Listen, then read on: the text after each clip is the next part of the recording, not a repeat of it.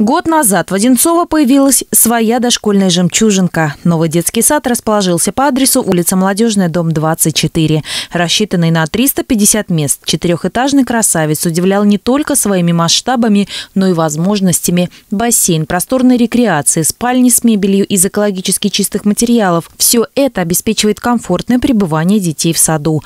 Плюс рациональная планировка. Все четыре этажа здания рассчитаны на детей, а технические и административные помещения перенесены на цокольный этаж. Необычным архитектурным решением отличился и детский сад в городском поселении Заречье. Новое дошкольное образовательное учреждение на улице Медовая по форме напоминает несколько бочонков. Округлые формы смягчают угловатость пространства. Новое дошкольное образовательное учреждение готово принять свыше 170 детей. Предусмотрены ясли для самых самых маленьких. Уникальность этого сада еще и заключается в том, что здесь у нас будут четыре группы для детей от года 8 до 3 лет. То есть детки очень такого раннего возраста будут иметь возможность прийти и получать дошкольное образование. Возможности детского сада в Заречье наряду с главой района и специалистами управления образования оценили и родители. Представители районной ассоциации внимательно осмотрели спальни, игровые комнаты, раздевалки с современными электрическими сушилками, а затем поделились впечатлениями за круглым столом, состоявшимся здесь же, в одном из холлов детского сада уникальное решение в детском саду и по э, малым формам, и по группам. И э, внутри детского сада все э, повышенного качества с точки зрения экологии. Нет практически нигде прямых углов, все стены скруглены. Это такая тоже инновация. Посмотрим, как наши дети будут там себя чувствовать. Но уверен, что это все будет комфортно, уютно и интересно для наших детишек, которые будут там получать качественное образование.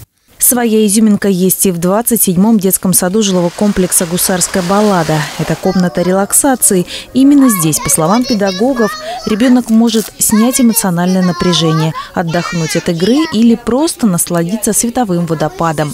Эта комната рассчитана для сенсорного обогащения ребенка, для его зрения, восприятия, слуха. Здесь всегда релаксирующая музыка. Занятия в этой комнате снижают у ребенка гнев, усталость, тревогу. Грамотная планировка, уютные комнаты, спальни, бассейн. Пространство сада наполнено небольшими игровыми локациями. Проведен качественный ремонт, закуплена необходимая литература и открыты классы для дошколят с партами и настоящей школьной доской. Всего в Гусарской балладе накануне Нового года были презентованы три детских сада, рассчитанные на 300 детей. В таких садах современных должны работать очень подготовленные специалисты, вот в Зареченском садике даже есть э, компьютерный класс с интерактивными досками для уже детей в детском саду. Еще там несколько лет назад мы такого себе и представить не могли, что дети будут полноценно изучать компьютерную грамоту в детском саду.